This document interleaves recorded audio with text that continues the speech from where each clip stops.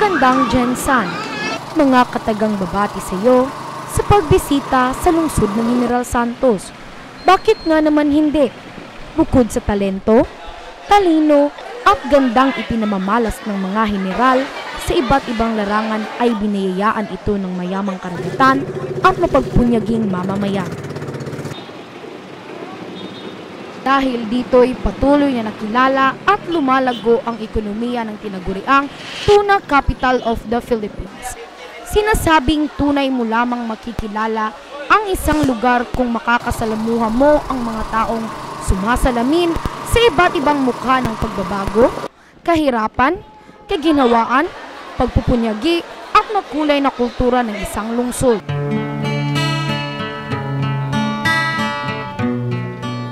Mula sa probinsya ng Leyte, dumayo si Mang Remy kasama ang kanyang pamilya dito sa lungsod ng General Santos noong 1986 para makipagsapalaran sa buhay sa simpleng lugar ng Silway na piling manirahan ni Mang Remy. Nag-adto ko diri sa Jinsan 1986. Adto ko diri sa Jinsan kaya ang panagaton diri, maayo pang panagaton sa una. Sa di ko diri nga ubang akong pamilya, diri na ko na nabuhi. Pangungundak ang tawag sa pangingisda sa baybayin ng Silway. Dito niya ay ginagapang ang pang-araw-araw na pangangailangan ng kanyang pamilya. Mulat na sa kahirapan si Mang Remy mula pagkabata. Parehong magsasaka ang kanyang mga magulang. Siya'y panglabing isa sa labing limang magkakapatid. Dahil sa kararampot na kita ng kanyang mga magulang at kasalatan sa yaman ay hanggang ikalawang baitang lamang ang kanyang natapos. Kung ginikanan sa una, pobre ni kayo. Kanya, kinsi mi kabuok mga igsoon, ako ikaunsi. Wagi kagasto ako mga ginikanan o mga eskwela mi. Ah, una nga, kami gitanan, wala gimingon nga nakat may kurso nga nabot. Nanguma lang ako mga ginikanan, nya usahay kaning umalagi may magdagko kag uma nga kanang kuan igo lang gyud mi makakaon una nga wa makagasto akong ginikanan sa pag-eskwela namo Bagaman naghihikahos at hindi siya napag-aral ng kanyang magulang ay wala siyang pag-iimbot at hinanakit sa mga ito. grade 2 ray akong naabot kay pinaginikanan wala ka gasto wala ko'y kasuko sa akong ginikanan wala ko'y kayubos ang gidawat lang nako nga ingon ani wala walay wala ko'y wala ko'y nilang gigastuhan kay pobre man ni Dahil estranghero si Mang Remy sa lugar, wala pa itong kaalam-alam sa mga hanap buhay ng syudad. Gayunpaman, pinilit niyang matutunan at makahanap ng marangal na trabaho upang matugunan ang pang-araw-araw na pangangailangan sa kanyang pamilya.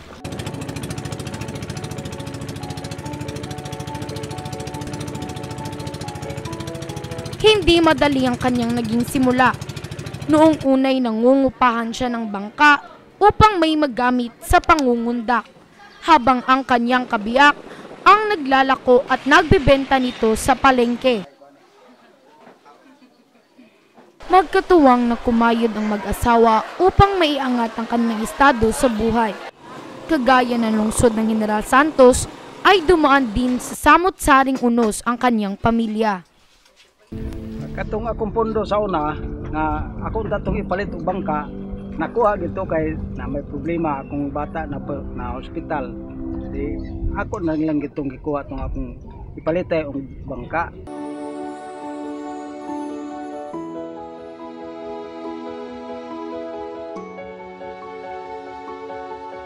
Pangarap niyang maging pulis noon dahil nga nais niyang tumulong sa mga naaapi at maiahon ng kanyang pamilya sa hirap.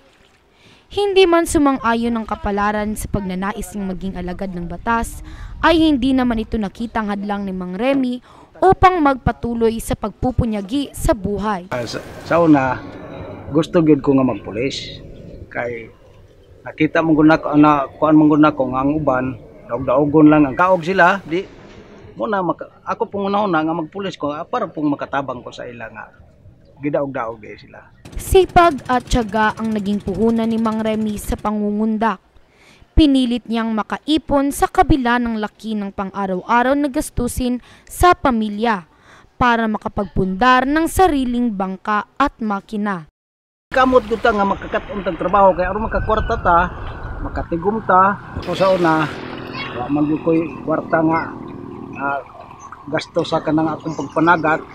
Ang arkila ko, nya diha nakatigom na ko, naka buhat na ko og akong bangka. Ganton nga nagkaugalingon na gyud ko karon og panginabuhi og ako na lang ako na yung bangka, ako na pong makina. Kasabay ng pag-unlad ng ekonomiya sa lungsod ng General Santos ay unti-unti na ring naisakatuparan ni Mang Remy ang kanyang mga pangarap. Hindi man pangingisda ang una niyang ninais sa buhay ay pinagyabong naman niya ang mga biyaya ng karagatan.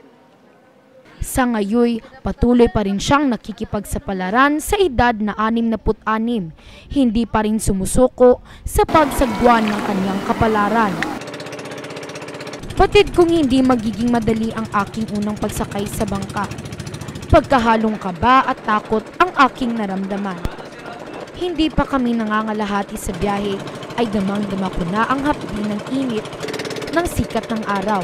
Pakiramdam ko ay nahihilo at naduduwal na ako. Subalit, di ko man lang mabanaag sa mukha ni Mang Remy ang takot at hirap ng napiling trabaho. Marahil ang kanyang katatagan at determinasyon ay bunga ng matinding pagnanais na maitaguyod ang pamilya. Pipila na ko katuig ka pangundak diri day. Okay na. Sobra 20 anyos. Tapos na ko yung ginsan. Nagat ito.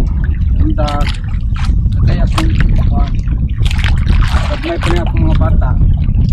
Mga maranagat na ko. Sa ano pud tay sa makuha nimo sa isa ka adlaw mo, pila pud ka kilo na. Magparehas. Ay, pareha karon yung naroon na. Kaon. Mayroon po. Yan na po. Kuhan na po. daga. Kaon yun. Kaon ka 10 kilos. 10 kilos. Yan na po.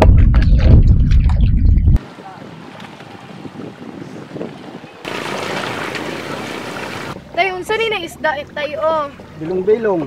Ah, mo din ni siya Oh, muna bilong. bilong-bilong. Ari tay oh, unsa pud ni siya? Malmal, aka karbalyas. Ah, Oh, karabalyas. kani mo karbalyas.